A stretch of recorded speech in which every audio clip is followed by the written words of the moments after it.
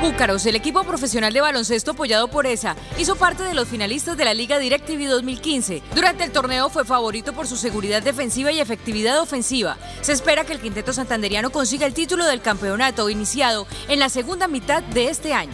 Por ahora tenemos que ganar dos juegos más, ¿no?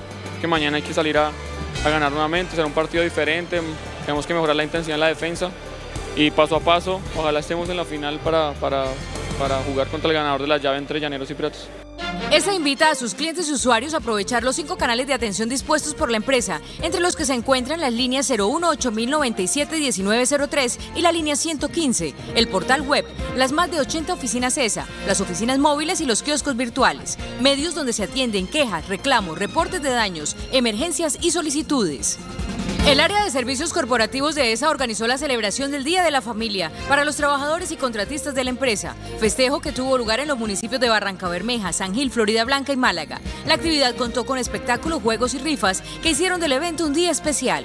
Son diferentes objetivos los que nos trae acá. Primero, reconocer a nuestros talentos, los trabajadores, eh, por el esfuerzo que ponen cada día en la oficina, en los diferentes frentes donde estamos trabajando para sacar adelante esta empresa del Grupo EPM. Esa reitera a sus clientes y usuarios pagar la factura del servicio de energía eléctrica en las oficinas de atención al cliente o en los puntos autorizados por la empresa para realizar este recaudo. Con el apoyo al proyecto Banco 2, esa compensa la huella de carbono generada por la empresa y contribuye en la construcción de territorios sostenibles y competitivos a través de los pagos a familias campesinas por sus servicios ambientales.